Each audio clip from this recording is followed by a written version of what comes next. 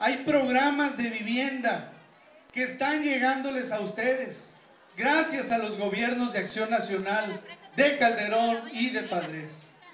Hoy mucha gente tiene, hoy los niños tienen uniformes escolares gratuitos que antes no tenían, gracias a los gobiernos de Acción Nacional. Por eso yo los convoco, las convoco, amigas, mujeres, luchadoras, a que defendamos lo que hemos ganado, a que cuidemos eso que hoy tenemos, a que no permitamos que regrese el PRI, que no permitamos que regrese el PRI a los pinos.